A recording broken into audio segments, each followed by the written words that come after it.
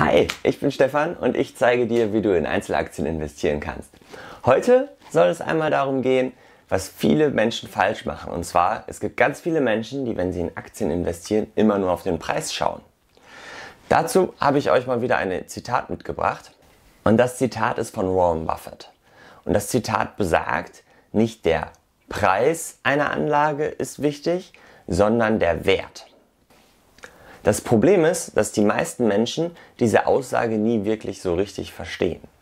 Und ähm, wir denken immer, wenn wir an Aktien denken, zuallererst irgendwie an den Preis. Wir haben irgendwie im Kopf diese Charts, die rauf und runter laufen, die Preise, die damit verbunden sind. Und dann haben wir immer so Sachen im Kopf wie heute ist der Preis um 5% gestiegen, um 3% gefallen.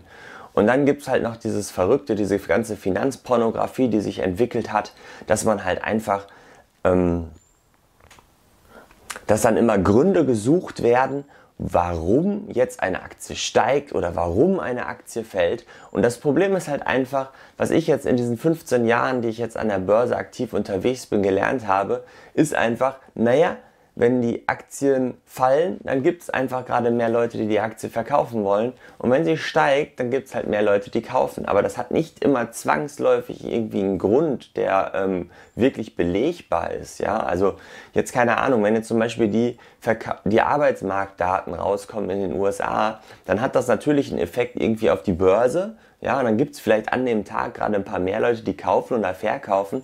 Aber es jetzt irgendwie darauf zu schieben, dass der Dow Jones um 2% gestiegen ist, weil jetzt die Arbeitsmarktdaten gut waren und die um 3% gestiegen sind, äh, das ist totaler Wahnsinn, ja. Also lasst euch davon nicht irgendwie verarschen und kümmert euch wirklich darum, dass ihr wisst, was ihr kauft, ja. Und um zu wissen, was man kauft, muss man einfach schauen, dass man sich wirklich klar macht, welches Unternehmen steckt dahinter, wie groß ist der Anteil des Unternehmens, den ich bekomme. Also immer darauf schauen, wie viel Wert bekomme ich denn jetzt eigentlich für meine Geldanlage und ist es mir das wert.